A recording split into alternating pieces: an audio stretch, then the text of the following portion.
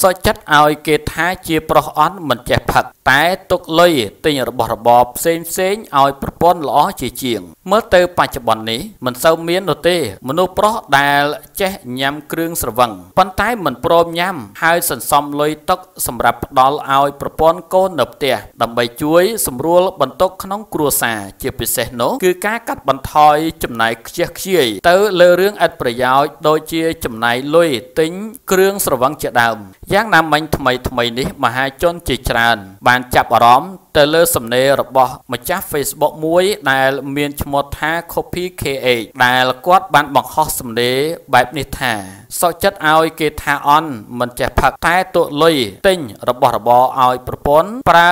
2300ដុល្លារអរគុណដែរដែលតែងតែនៅក្បែរនឹងលើកទឹកចិត្តបង មុនស្គាល់គាត់ខ្ញុំមិនដែលកាន់លុយ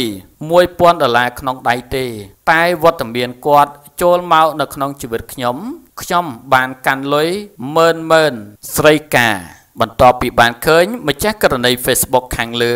បង្ហាញនៅសំណេររបស់ខ្លួនបែបនេះរួចមក មានអ្នកប្រើប្រាស់លើបណ្ដាញសង្គម Facebook ជាច្រើន បានសម្ដែងការគាំទ្រទៅលើសំណេររបស់ម្ចាស់សំណេរនេះយ៉ាងខ្លាំងរហូតមានចំនួនអ្នក ចែករំលែកដល់ទៅរាប់ពាន់ដងឯណោះព្រោះតែ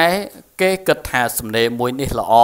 និងបង្កប់អត្ថន័យយ៉ាងមានតម្លៃដែលមិនអាចកាត់ថ្លៃបានប្រមិត្តជាទីមត្រីព្រមានមួយនេះត្រូវបានបញ្ចប់អរគុណណាស់សម្រាប់ប្រមិត្តដែលបានស្ដាប់និងតាមដានជាមួយ NC Channel ដើម្បីទទួលបានព្រមានផ្សេងផ្សេងថ្មីថ្មីជារៀងរាល់ថ្ងៃសូមប្រមិត្តចុច Subscribe ឬជាវនិងរូបកណ្ដឹងអរគុណសូមជម្រាបលា